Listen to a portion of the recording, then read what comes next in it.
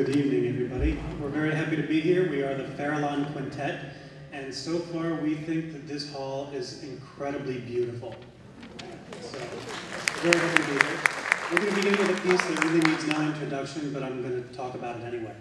It's uh, Mozart. He wrote it in 1789 for clarinetist Anton Stadler, and the clarinet was a relatively new instrument back then, and um, wrote the uh, quintet and the clarinet concerto for him.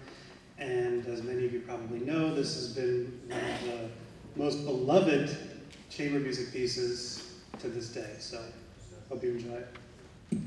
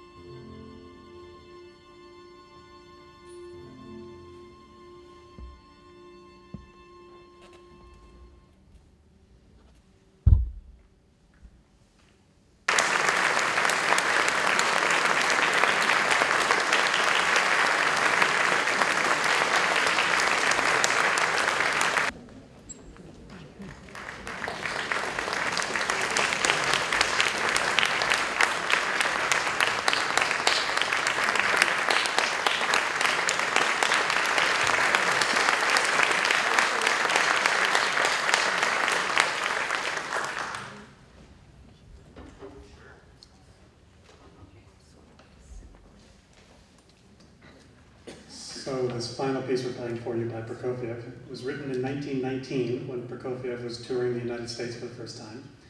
And apparently he wasn't having a very good time. He was in the wake of Rachmaninoff, who was by far America's favorite Russian pianist. And American audiences weren't receiving him quite as well as he wanted to be received. But there was a Russian sextet that was also on tour in Russia, in, in the United States, that he hooked up with.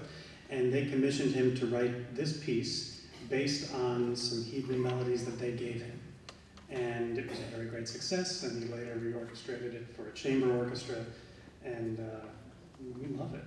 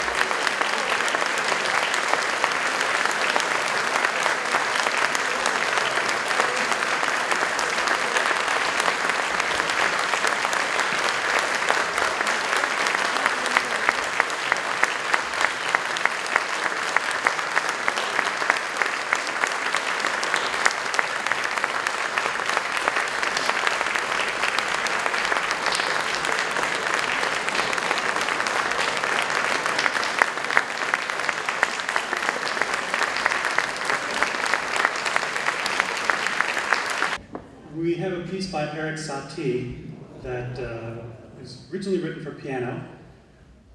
Tanya plays it beautifully, although you won't hear her play that tonight. And uh, we arranged it for this instrumentation because we thought it would sound good, and we think it does. This is the Gymnopédie number one by Erik Satie.